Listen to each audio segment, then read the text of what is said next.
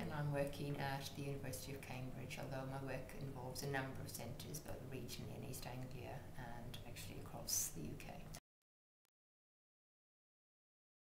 Our paediatric adolescent structured education program, which is known as FACTS, Families, Adolescents and um, Communication and Teamwork Study, follows on from a previous Diabetes UK grant, which was really to develop a curriculum for structured education in children and adolescents.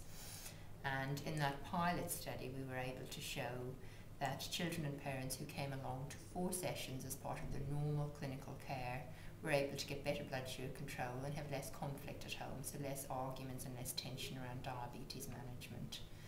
And based on the positive results from the pilot study, we were then able to apply for and to get a grant to do a larger randomised study across the UK. That study has now recruited 300 adolescents between the ages of 11 and 16 mm. and delivered six months of structured education to them across 10 UK sites. And in fact, the programme delivery in the final site is due to finish just within the next few weeks progressing very well and we hope to have some of the quality of life outcomes really within the next six months and we should know whether the program's been effective.